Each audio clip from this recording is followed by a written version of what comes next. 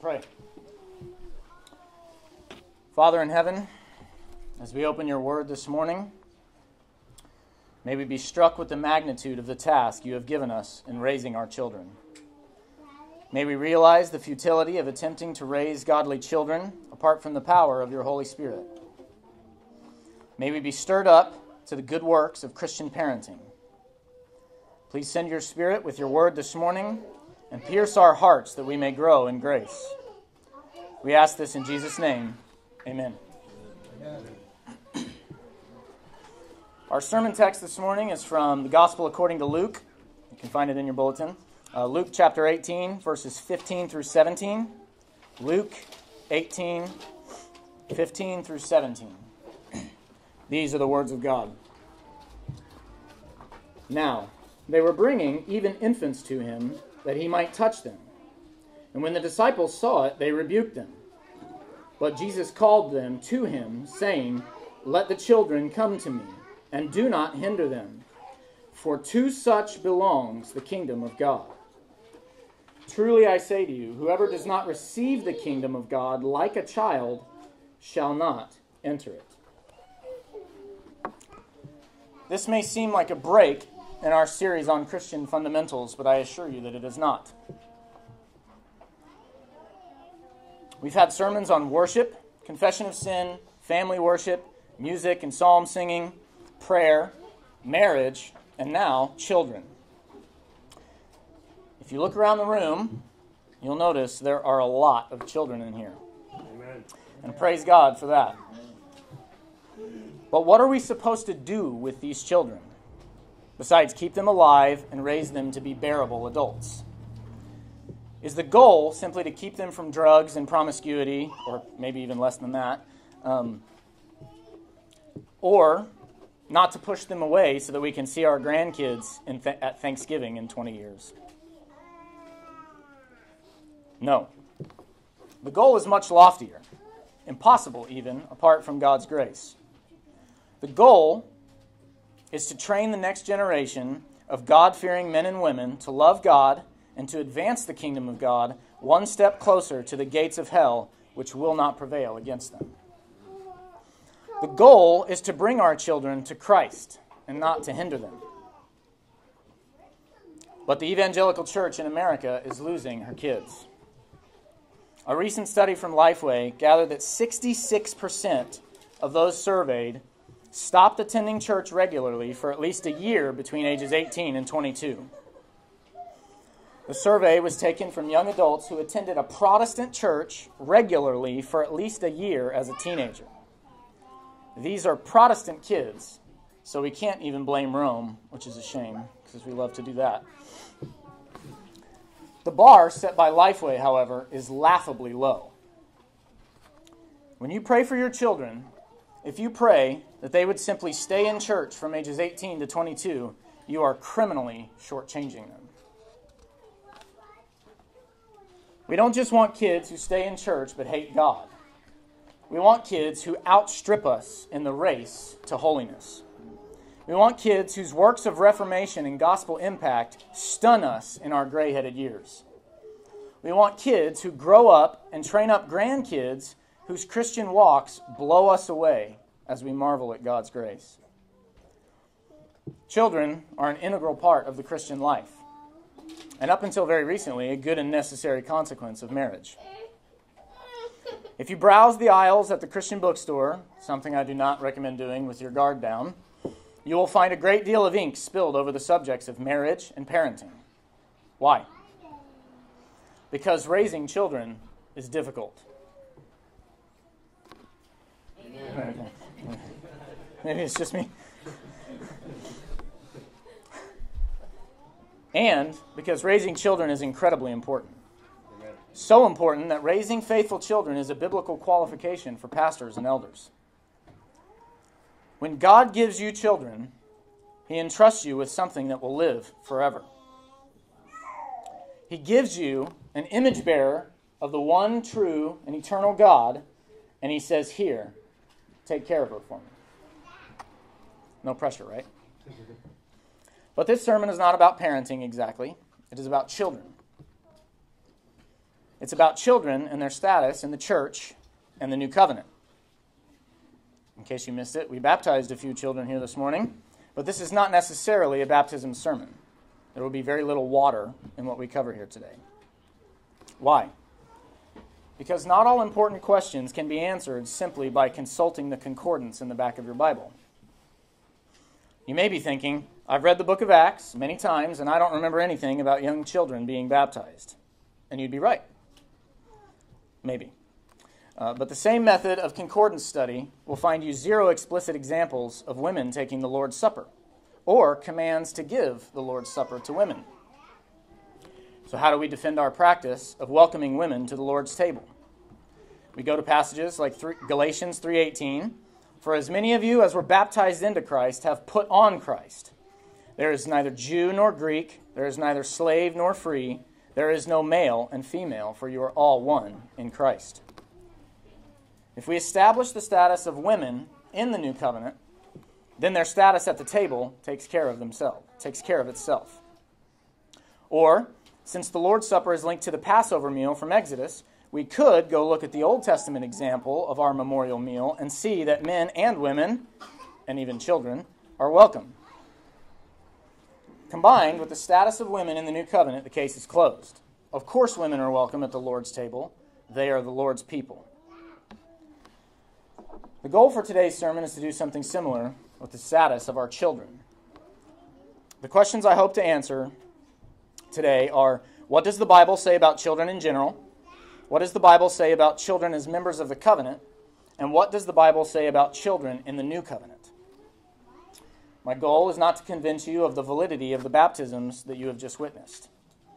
My goal is to simply declare to you what God has said about your children and to encourage you in the monumental task of faithfully raising your children in the discipline and instruction of the Lord. As a disclaimer, um, before I jump in here, a great deal of the material from this sermon has been distilled from three major three books that impacted me the most. Doug Wilson's To a Thousand Generations, Baptism is Not Enough by John G. Crawford, and Joel Beeke's Parenting by God's Promises. I have them with me. If you want to take a look at them at lunch, feel free to, or at least grab the names, let me know. Okay, so what does the Bible say about children? Well, quite a bit naturally, and most of it is good. In Exodus 20, verse 5, in the giving of the second commandment, God says this For I, the Lord your God, am a jealous God, visiting the iniquity of the fathers on the children to the third and fourth generation of those who hate me, but showing steadfast love to the thousandth generation of those who love me and keep my commandments. Your children are affected by your disobedience but they are much more blessed by your obedience. And the ratio of blessing to curses is hugely slanted towards blessing. It's about a thousand to three or four, depending upon whether God curses you to three generations or four. To double down on this point, take a look at Deuteronomy 4:40. Therefore you shall keep his statutes and his commandments which I command you today, that it may go well with you and with your children after you that you may prolong your days in the land that the Lord your God is giving to you for all time. Just one page over in Deuteronomy 7, verse 9, God says, Know therefore that the Lord your God is God, the faithful God, who keeps covenant and steadfast love with those who love him and keep his commandments to a thousand generations. A brief sweep of the Psalms or maybe not so brief sweep of the Psalms, will uncover many glorious statements about children. Psalm 22, verse 30 says, Posterity shall serve him. It shall be told of the Lord to the coming generation, they shall come and proclaim his righteousness to a people yet unborn, that he has done it. Psalm 37, verse 25 says, I have been young and am now old, yet I have not seen the righteous forsaken, or his children begging for bread. Psalm 72, verse 4 says, May he defend the cause of the poor, of the people, give deliverance to the children of the needy, and crush the oppressor. Psalm 78, verses 5 through 8 He established a testimony in Jacob and appointed a law in Israel which he commanded our fathers to teach to their children, that the next generation may, might know them, that the children yet unborn, the children yet unborn, and arise and tell them to their children, so that they should set their hope in God. Psalm 90, verse 16. Let your work be shown to your servants, and your glorious power to their children. Psalm 102, verse 28 says, The children of your servant shall dwell secure, their offspring shall be established before you. Interestingly, this verse is immediately after verses 25 through 27, which are quoted in Hebrews 1:10 about the supremacy of Christ above everything. But of the Son, he says, and then we read that the, the children of your servants shall dwell secure. Psalm 103, verse 17 through 18 says, But the steadfast love of the Lord is from everlasting to everlasting on those who fear him, and his righteousness to children's children, to those who keep his covenant and remember to do his commandments. Psalm 112 says, Praise the Lord. Blessed, blessed is the man who fears the Lord, who greatly delights in his commandments. His offspring will be mighty in the land. The generation of the upright will be blessed. Psalm 115, verse 13 says, He will bless those who fear the Lord, both small and great. May the Lord give you increase, you and your children. Psalm 127, verse 3 is a great coffee mug verse. in fact, I actually have a t shirt with it on it. Behold, children are a heritage from the Lord, the fruit of the womb a reward. Like arrows in the hand of a warrior are the children of one's youth.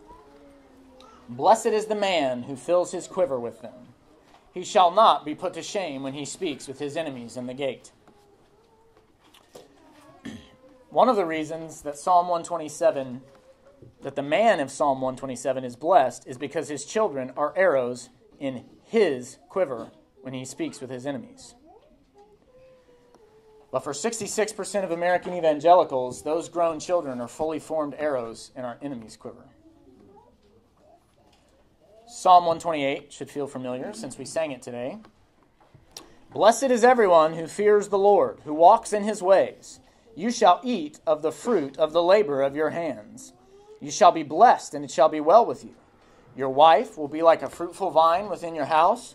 Your children will be like olive shoots around your table. Behold, thus shall the man be blessed who fears the Lord. The Lord bless you from Zion. May you see the prosperity of Jerusalem all the days of your life. May you see your children's children. Peace be upon Israel. One of the blessings of a God fearing man is little olive shoots around his table. Fruitful olive shoots. Olive shoots that produce children's children. Psalm 147, verse 12 says, Praise the Lord, O Jerusalem. Praise your God, O Zion, for he strengthens the bars of your gates. He blesses your children within you. Okay, so you get it right. The Psalms say a lot about children. But what about the prophets?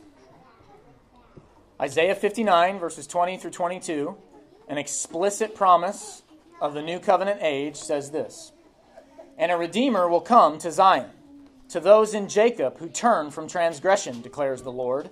And as for me, this is my covenant with them, says the Lord. My spirit that is upon you, and my words that I have put in your mouth, shall not depart out of your mouth, or the mouth of your children or the mouth of your children's children, says the Lord, from this time forth and forevermore. Isaiah 65, verse 22 says, in a description of the new heavens and the new earth, mind you, Isaiah says, They shall not labor in vain or bear children for calamity, for they shall be the offspring of the blessed of the Lord, and their descendants with them. In Jeremiah 32, verse 38, while promising a restoration of Judah after the Babylonian captivity, God says this They shall be my people, and I will be their God.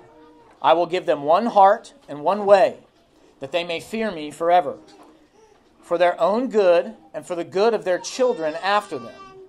I will make with them an everlasting covenant, that I will not turn away from doing them good.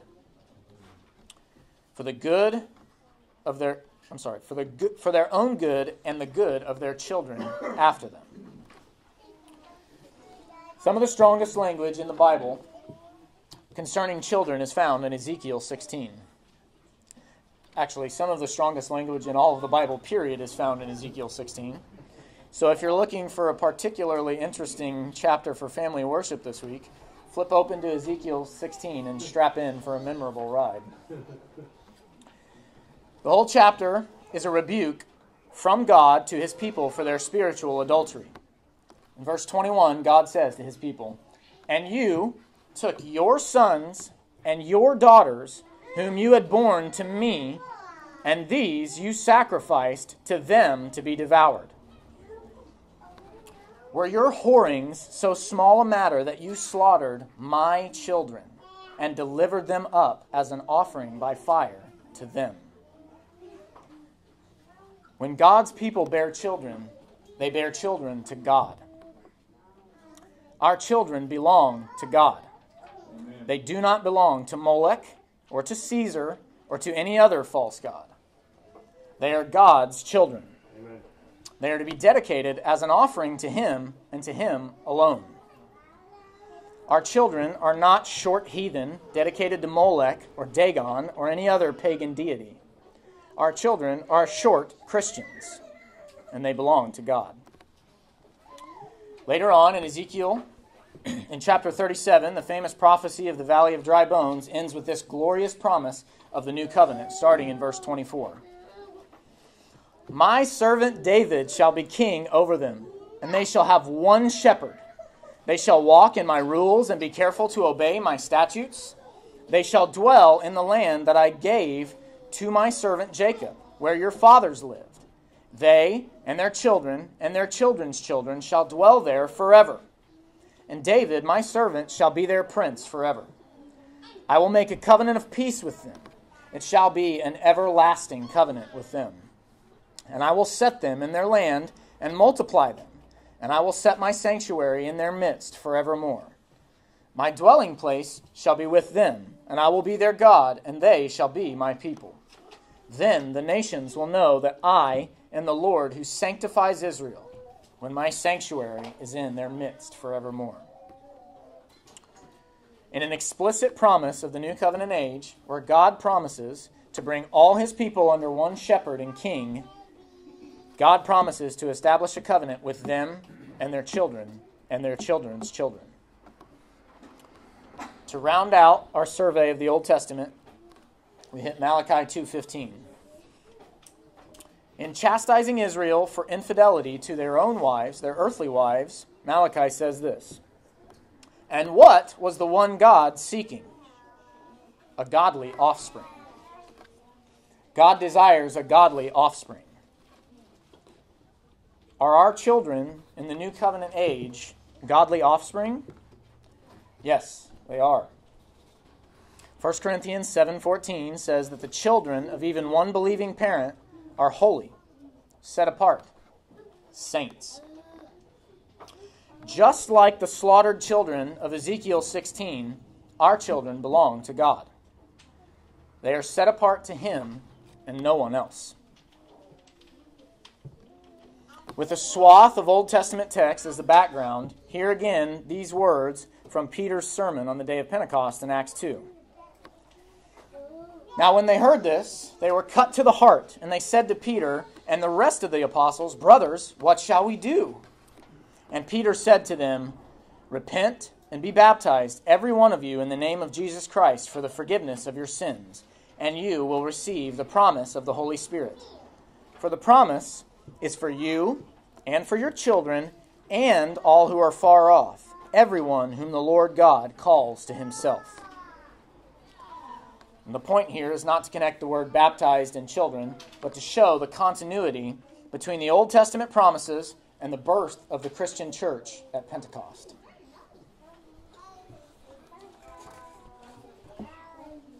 All throughout the Old Testament, but especially from Abraham to Christ, children are included in the covenant, and they are numbered among the covenant people. There's plenty more in the New Testament regarding children, especially in our sermon text from Luke 18 and its parallels in Mark 10 and Matthew 19. In Luke, infants, even infants, are brought to Christ that he might touch them. Being good, focused adults, the disciples start to brush away the parents, rebuking them for wasting the Savior's time with trifles such as blessing an infant. But Jesus does the opposite. He tells his disciples to let the children come to him, and he even warns them not to hinder the children. Now, there's a lot we could say about this verse, but I want to focus on three main points. The first is that Jesus considers an infant brought to him, excuse me, brought to him by a believer to be coming to him. The infant didn't walk up to Jesus, he was carried by a parent. He was brought by another, by somebody else's faith. But Jesus says, Let the children come to me. The second point, which is much bigger, is what Jesus says next. He says, For to such belongs the kingdom of God. The kingdom of God belongs to the little children brought by their parents. The kingdom belongs to them. This is, this is important. When the disciples attempt to shunt the little children off to the side, Jesus doesn't just say that they're welcome, he says the kingdom belongs to them.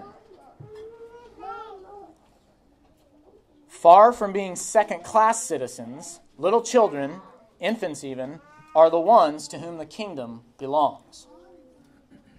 The third point, which is also significant, is that Jesus entreats his disciples to be more like the children. He says, Truly I say to you, whoever does not receive the kingdom of God like a child shall not enter it. Far from discrediting the faith of a little child, Jesus holds their faith up as the standard. In most evangelical churches in America, this is flipped on its head. The children are told that their faith is incredible. Their faith isn't the standard, the adult faith is. Yes, she says she loves Jesus, but she doesn't really understand what that means. Well, maybe she doesn't fully understand what it means to be a Christian, but that's the faith that Jesus holds up as the example to imitate. The simple faith of a child. Far from brushing off the faith of our children as somehow less legitimate than ours, we ought to imitate their faith. We ought to pray for our, our faith to be more like theirs. I know I said three points, but the fourth one is free.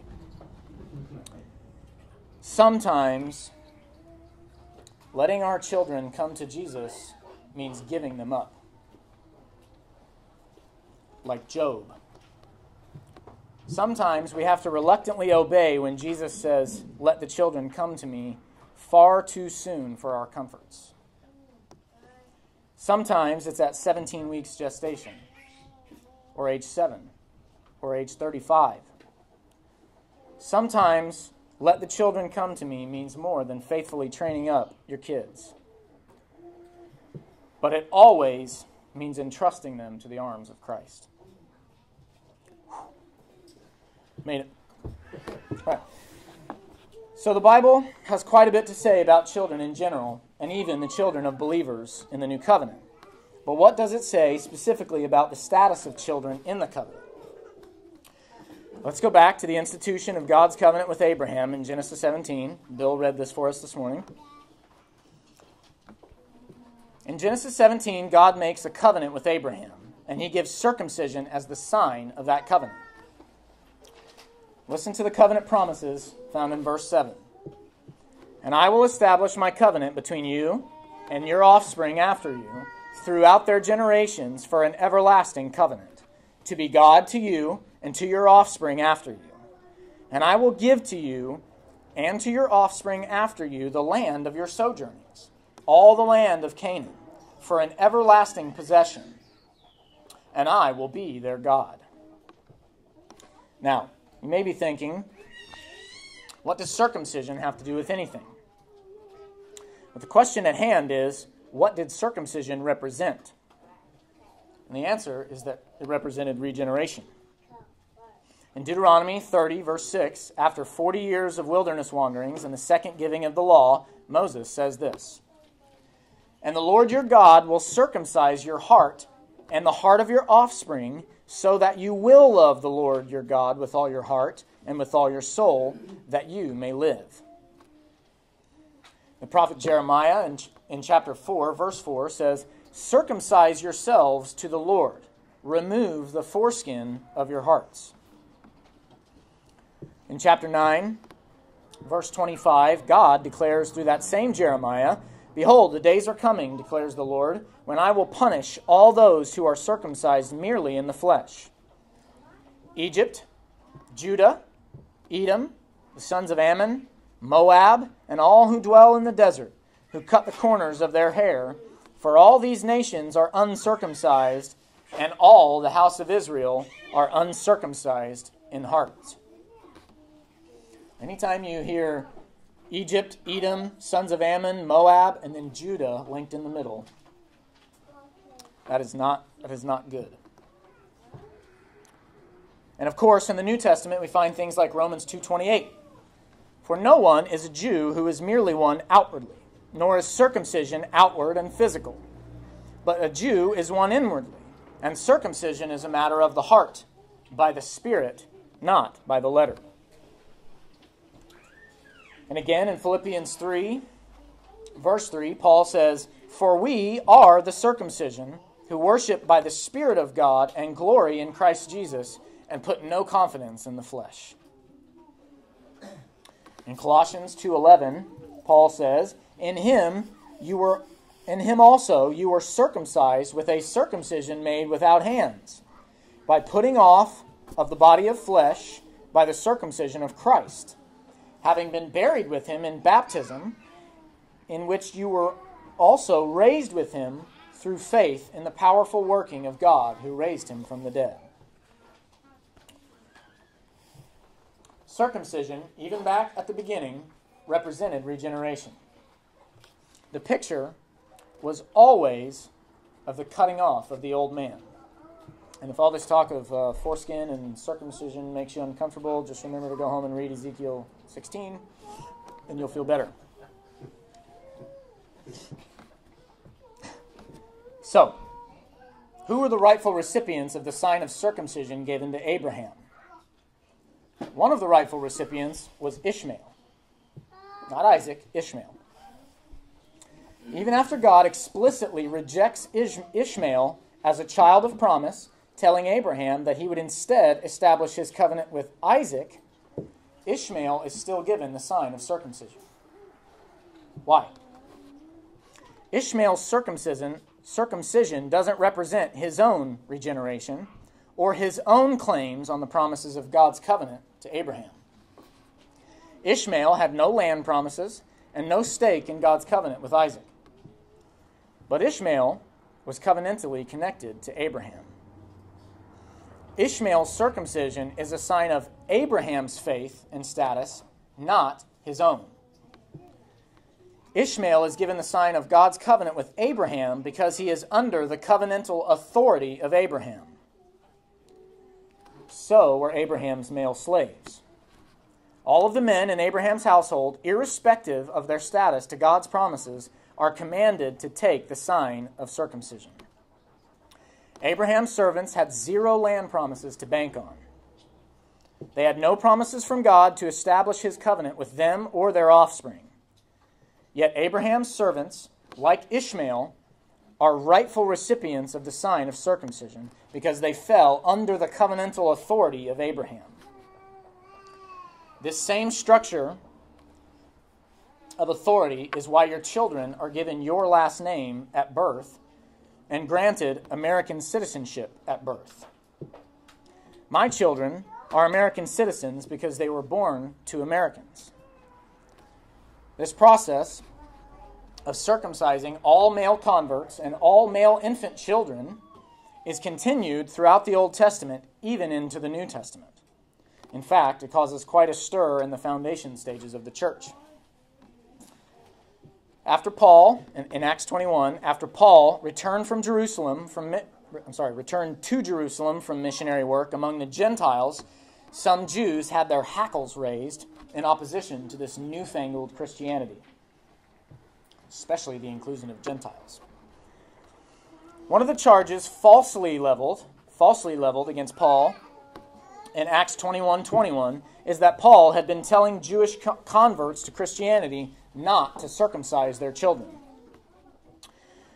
Knowing that this teaching, the teaching that children were now excluded from the covenant and no longer to receive the sign of the covenant, would have caused a riot in Jerusalem, the Jewish brothers in Jerusalem talked Paul and his companions into purifying themselves at the temple so all will know that there is nothing in what they have been told about you. Acts 21 24.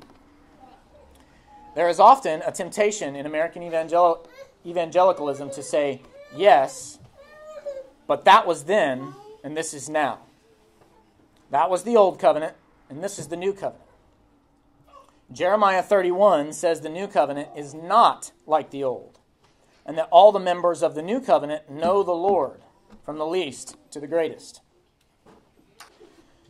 In our survey of the Old Testament promises concerning children, Old Testament promises concerning children, we hit Isaiah 65 and Ezekiel 37, both containing explicit promises concerning the children in the new covenant. It is important to note, though, the practice of giving the covenant sign to children precedes the covenant with Moses. The covenant given at Sinai is the covenant referred to as the Old Covenant, and circumcision goes all the way back to Abraham. But the New Testament itself has much to say on the continuity between the Abrahamic, the Mosaic, and the New Covenants. In 1 Corinthians 10, Paul exhorts the Christians in Corinth in this way largely Gentiles, in fact. For I do not want you to be unaware, brothers, that our fathers were all under the cloud, and all passed through the sea, and all were baptized into Moses in the cloud and in the sea, and all ate the same spiritual food, and all drank the same spiritual drink. For they drank from the spiritual rock that followed them, and the rock was Christ. Nevertheless, with most of them, God was not pleased, for they were overthrown in the wilderness. Now, these things took place to them as an example for us, that we might not desire evil as they did. Do not be idolaters as some of them were. As it is written, the people sat down to eat and drink and rose up to play. We must not indulge in sexual immorality as some of them did and 23,000 fell in a single day. We must not put Christ to the test, as some of them did, and were destroyed by serpents, nor grumble, gongusmos, as some of them did, and were destroyed by the destroyer. Now, these things happened to them as an example, but they were written down for our instruction, on whom the end of the ages has come. Therefore, let anyone who thinks he stand, take heed lest he fall. There's your explicit reference in the New Testament to infants being baptized, by the way. Baptized in the Red Sea. Paul draws similarities to the Exodus at exactly the same place that we are tempted to draw differences. We say, this is a different covenant. Paul says, our fathers were under the cloud and in the sea. We say, we have baptism and the Lord's Supper and Christ. Paul says, so did they, and their bodies are scattered in the wilderness. We say, you can't fall away from the new covenant. It's a covenant from the elect only. Paul says, let anyone who stands, thinks that he stands, take heed lest he fall. The olive tree in Romans 11 is the clearest picture of continuity between the covenants starting at verse 17. But as some of the branches were broken off, and you, although a wild olive shoot, were grafted in among the others, and now share in the nourishing root of the olive tree, do not be arrogant toward the branches. If you are, remember it is not you who support the root, but the root that supports you. Then you will say, Branches were broken off, so that I might be grafted in. That is true. They were broken off because of their unbelief, but you stand fast through faith. So do not become proud, but fear. For if God did not spare the natural branches, neither will he spare you. Note then the kindness and the severity of God severity toward those who have fallen, but God's kindness to you, provided you continue in his kindness. Otherwise, you too will be cut off. And even they, if they do not continue in their unbelief, will be grafted in, for God has the power to graft them in again. The olive tree of Romans 11 is a tree that spans the Abrahamic, the Mosaic, and the New Covenant. You could argue even further back. It is one tree with many branches. The olive tree has Jewish branches that grew on the tree naturally. They were not grafted in, they grew there. But they're cut off for their unbelief. The olive tree also has Gentile branches, wild olive shoots, grafted into a tree that isn't theirs by birth. But branches are being cut off of the olive tree for unbelief. Now, we must stress at this point that you cannot be cut from salvation. You cannot fall away from salvation once you have been given it. God keeps his elect. If you have been given by the Father to the Son, the Son will keep you. He is a perfect high priest who loses none that the Father has given him. But you can fall away from the, Roman, from the olive tree of Romans 11. That means that the olive tree of Romans 11 isn't the tree of salvation, because you can be cut out for unbelief. It is the tree of the covenant. There are Jewish branches that really grew on the tree. They started as buds and they grew into full size branches, but they are cut off. And they're cut off for a lack of faith. It would not have been an appropriate response for a Roman Christian to write back to Paul and say, No, Paul, you're mistaken. Branches cannot be removed from the olive tree in the new covenant because the new covenant cannot be broken according to Jeremiah 31. Paul, in Ephesians 6 1, links Ephesian children to God's covenant with Moses when he exhorts the children in Ephesus in this way Children, Obey your parents in the Lord, for this is right. Honor your father and mother. This is the first command with a promise, that it may go well with you and that you may live long in the land. Paul quotes commandments given to Moses on Mount Sinai and applies them to Gentile children in Ephesus in the New Covenant age. The same Paul, as we have already noted in 1 Corinthians 7:14, teaches the children of a believing parent are set apart, holy, hagios, saints. God doesn't change his mind in the new covenant. He doesn't introduce a radical paradigm shift to how his people relate to their children. He does not say, I made a whole bunch of promises back there about children and grandchildren, but I've changed my mind. That paradigm didn't work. I overpromised back there, so the new paradigm is individuals only. You can no longer grow naturally on the tree, olive tree of Romans 11. All branches since Pentecost are grafted in one by one. No, God did not overpromise, and He will not underdeliver in the new covenant. He gave you your kids, and He wants you to keep them.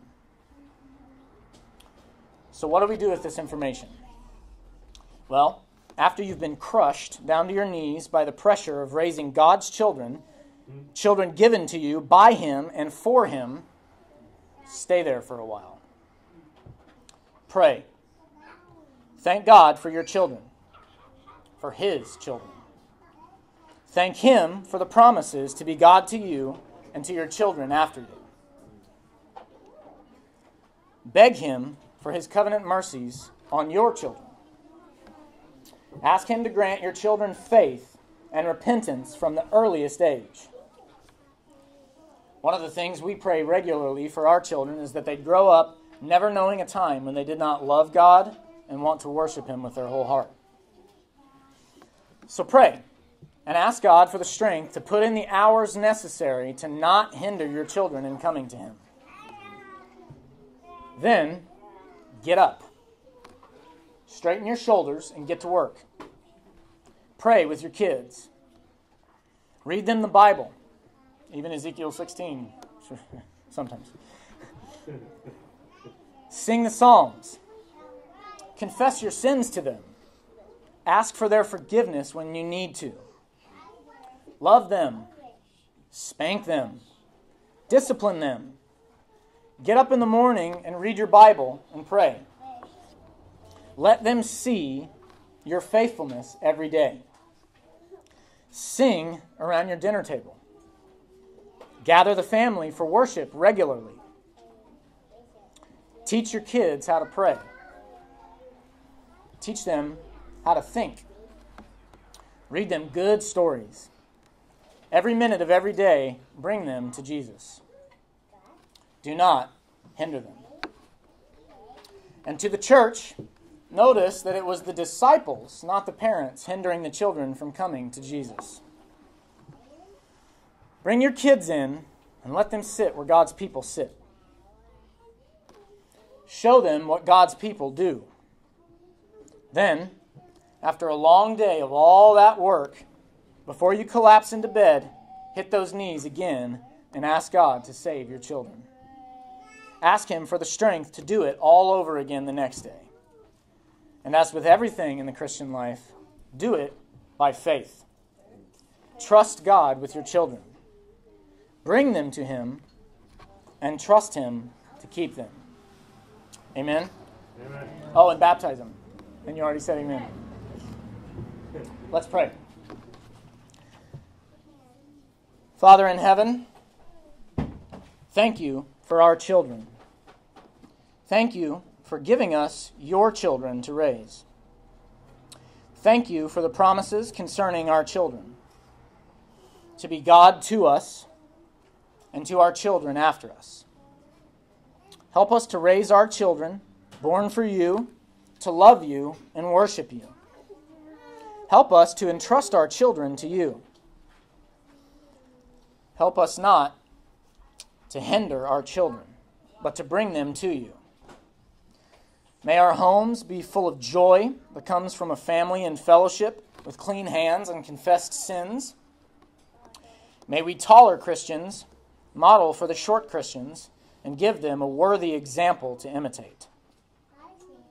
Keep our children, Lord, and use us and our lowly efforts as the mean to do so. We ask this in Jesus' name. Amen.